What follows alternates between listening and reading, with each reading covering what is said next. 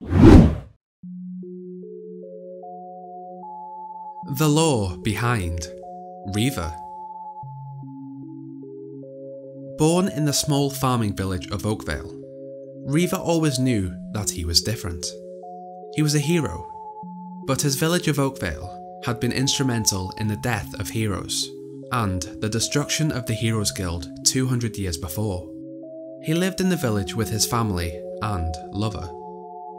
Obsessed with his own vanity, he made a deal with the Shadow Court for eternal youth, unaware that making this deal would result in the fall of Oakvale and cause the death of everyone that he ever knew and loved.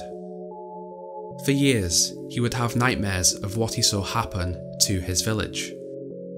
This event changed him, making him view the world differently. To maintain his youth, Reaver would send someone once a year to the Shadow Judges of the Shadow Court. This ritual would take their youth and allow Reaver to keep his. As a hero, Reaver possessed the ability of skill, making him extremely dangerous with a gun, and over the years, he becomes known around Albion for his debauchery and sexual impropriety.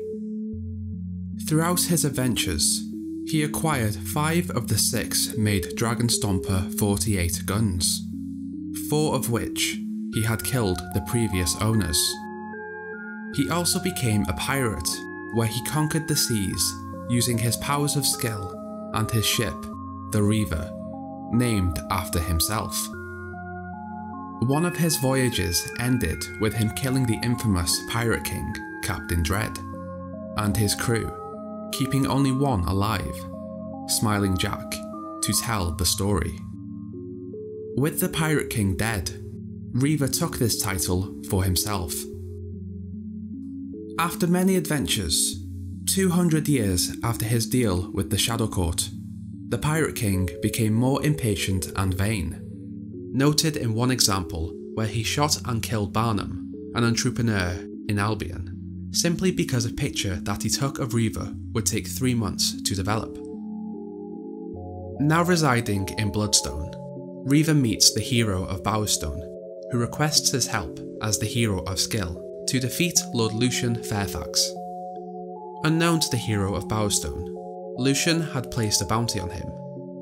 Reaver uses this opportunity to trick the hero into going to the Shadow Court as the offering for that year, and when weakened after the exchange, he planned to deliver him to Lucian and collect the bounty. All of Reaver's actions, of course, motivated by self preservation and personal gain. Lucian foils this plan and decides to try and take both heroes by force by invading Bloodstone with his shards. In a partnership of convenience, Reaver helps the hero of Bowerstone escape through the tunnels of his manor. Aware that Lucian won't leave him alone, he teams up with the other heroes Garth, the hero of will, and Hammer, the hero of strength, where they attempt to destroy Lucian but are ambushed and taken to the spire. They are later rescued by the hero of Bowerstone, and Lucian is defeated, allowing Reaver to continue his selfish ways. After the death of Lucian, Reaver moved to Samarkand, where he later attempted to kill Garth, in which his attempt failed. Moving back to Albion years later, Reaver settles into a new manor in Millfields, where he hosts extravagant parties with the elite and powerful. With the rise of the industrial age and the loose laws regarding employee treatment, Reaver takes control of Faraday Industries after Ernest Faraday is arrested by King Logan. He changes the name to Reaver Industries, introduces child labour, reduces wages by 100%, and increases working hours. This results in him becoming a very rich man, becoming a titan in industry, and a very powerful ally to the king now running the majority of Bowerstone Industrial, he executes workers in public, truly showing his evil and narcissistic personality to all.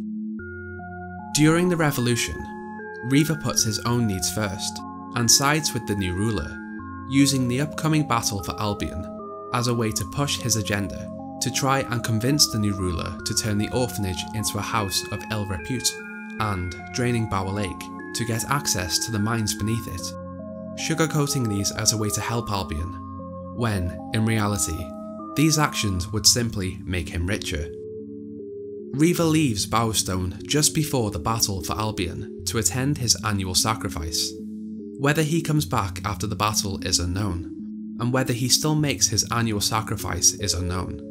Knowing his ability for self preservation, he's probably still out there somewhere. Hey guys, thank you for watching this lore episode on Reaver. I had a lot of fun making this one, and I know you guys have been asking for it for a while. What did you think? What would you like me to cover next? As always, like and subscribe if you found this interesting. Now, enjoy your day.